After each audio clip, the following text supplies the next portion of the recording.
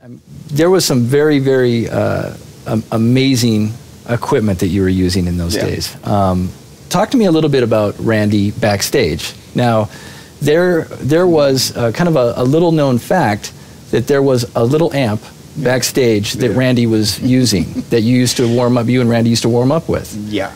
Actually, it was Randy's amp. He used to warm up with it, and then at some point he started getting really, really heavily into classical guitar, mm-hmm. and and then I got the uh, the GR33, and I was taking it on the road, and I was like getting into it, like learning it because you know it's a new instrument.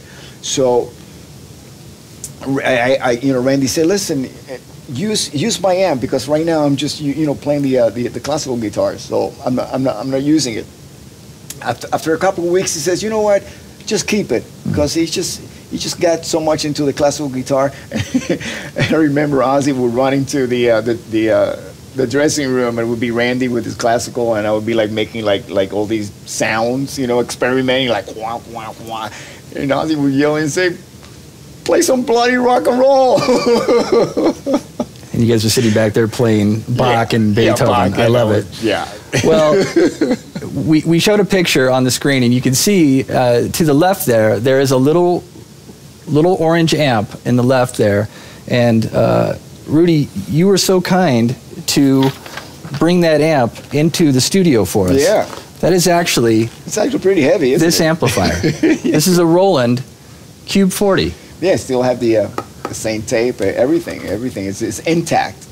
Actually, I retired it right after um, 82, uh, after the last tour that I did with Ozzy. I, I, I, didn't take it back out on the road again or anything.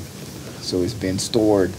It's got the actual dust from 1982. It is quite quite amazing, yeah. um, and uh, just yeah, really surreal. actually, the sound of that amp because you know he had uh, um, JBLs or Altecs. I always get confused between the two on his Marshall cab. So mm. he was what he wanted was a real clean, distorted tone. Mm-hmm. You know, and that came very very close to the rig that he was using on stage. That, that's fascinating. And, I, and I've heard this from a, a number of artists throughout the years mm-hmm. that regardless of, of the, the Roland amp, whether it's a, a JC120 mm-hmm. or a Cube amp or a GA112 or 212, that uh, whether you're playing through a clean channel or an, a really highly overdriven yeah. sound, there is a really unique clarity. And then I got to mm-hmm. thinking about Randy yeah. uh, playing, um, no matter how much gain he played with, you yeah. could always hear everything he was doing, both live and in the studio.